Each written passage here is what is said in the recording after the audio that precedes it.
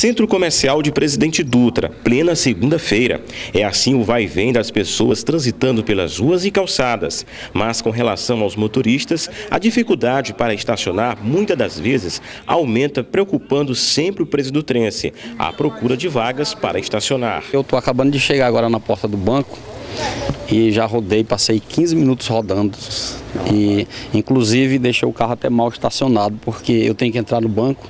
A gente encontra motos no lugar dos carros, não é? nós não temos um estacionamento bem adequado. Muitas das vezes, o motorista tem que dar várias voltas para achar um estacionamento correto. Complicado, ó, rodeia, rodeia, rodeia, ó, o tempo todo. A senhora está procurando a vaga? Procurando a vaga. E até agora? Até agora nada. Muita dificuldade aqui no centro gente roda, roda, roda, perde o tempo demais aqui para estacionar. Além de serem poucos espaços para estacionar os veículos no centro da cidade, pedestres e ciclistas dividem o mesmo espaço. É o caso desta rua aqui no centro de Presidente Dutra. As pessoas têm que dividir o espaço da rua com alguns camelões. Alguns motoristas arriscam dar dicas para melhorar o estacionamento. Eu acho que devia ter um local só para moto. Que aí tem vezes que a gente deixa estacionar, o cara bota um, uma moto num espaço que dá para dois carros. Tá entendendo? Então a maior dificuldade é moto, que eu acho. Paulo Henrique Pereira, cadeirante, fala que as vagas para as pessoas especiais são poucas na cidade. Na verdade, aqui em Presidente Dutra, aqui, as vagas para cadeirantes são poucos, né?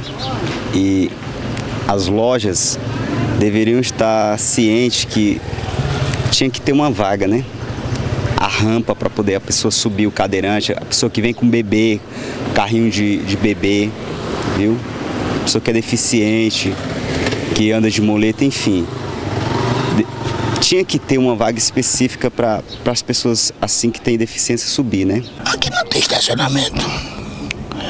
Eu estaciono mais ali no, no privativo. É alternativa, né?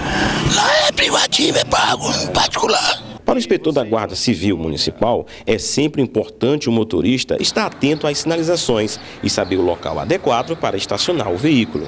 É, estacionar em cima da faixa de pedestre já teve muito, é, é proibido, é gravíssima a, a, infração. Outra, estacionar em cima do passeio. O passeio já é para o pedestre. O passeio hoje, a gente vê os ambulantes, as pessoas dos comerciantes já colocando os seus objetos na área do passeio, imagine um carro já em cima do passeio. Então vamos se conscientizar com isso. Vamos até começar uma campanha forte sobre isso, é estacionar nas esquinas.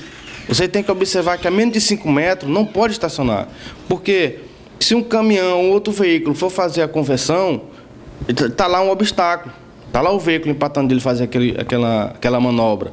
Então vamos observar, pessoal, vamos ter essa conscientização, senhores condutores.